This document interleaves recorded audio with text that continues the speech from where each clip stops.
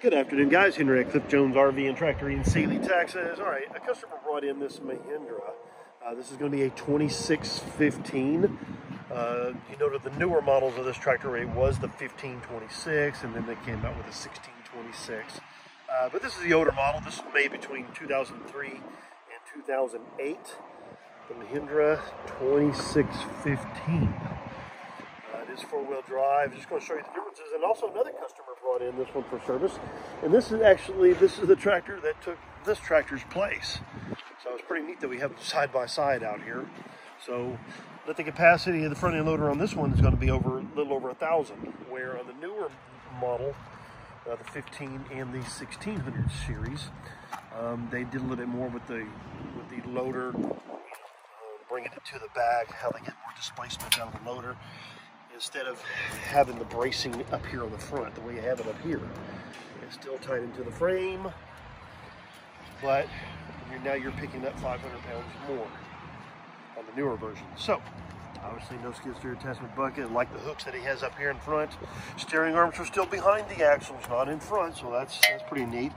This one will be uh, the geared tractor. You know, you got your four, three, four ranges got your low, medium, and then high. You got neutrals.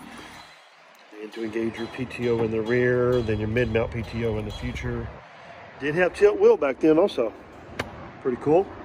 Um, the seat is off Gravely Zero Turn. Uh, he upgraded the seat over there. Okay. The fuel uh, is put in right here. Now it's on the hood on the other one. Up there on the hood. Yep. Cast iron rear end, cat one hookup, standard drawbar.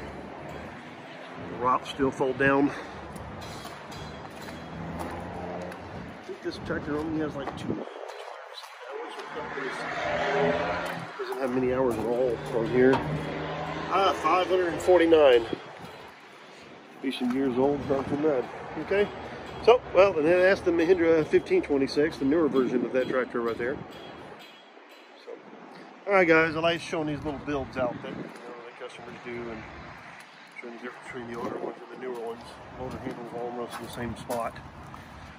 That one there. And uh, this one has only 127 hours.